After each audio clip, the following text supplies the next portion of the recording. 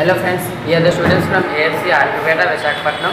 We would like to do small act conversation between the news reporter and survivor Gurvardhan. and the news reporter and this is survivor Gurvardhan. Let's start. Gurvardhan, could you tell me what had happened? At first we stayed at the team house with, along with my four children. It is quite peaceful.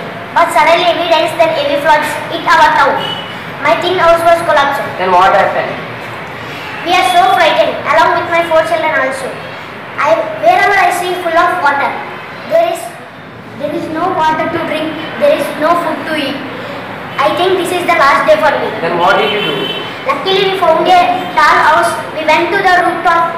We got some biscuits to eat. We we stayed all night day. The next day morning the rescuers rescued me. How much time did you stay there? I think 12 hours. How big is? I thank for rescuers for rescued me.